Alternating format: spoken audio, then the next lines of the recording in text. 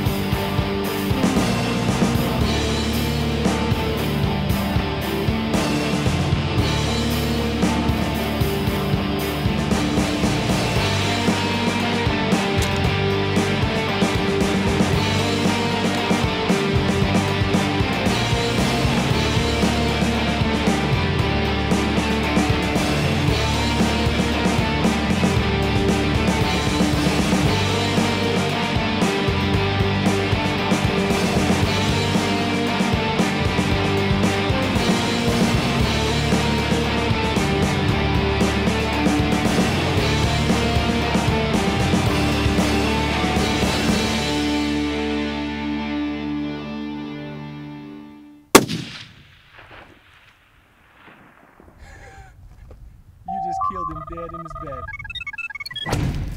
you, just, you just killed him dead in his bed. Holy crap. Holy smokes. Oh man. He just did Holy crap. dead in Holy- his bed. Holy How did you do that? Oh That was awesome. Oh. Look at that. He's even got a broken off fifth on this side. Oh man. How would that have been? Look at those little, those are cool. Those are Little daggers coming cool. down. Holy cow. Man, I'm so happy right now. It's a moment. Ah. Oh. Hey guys, I apologize if the video's wobbly, if the sound's crappy, if if it's shaky. Ah. But you know what? This is the best hunt I've probably ever been on. oh.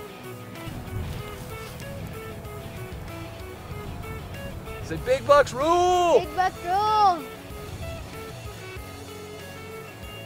Holy cow. This is just awesome.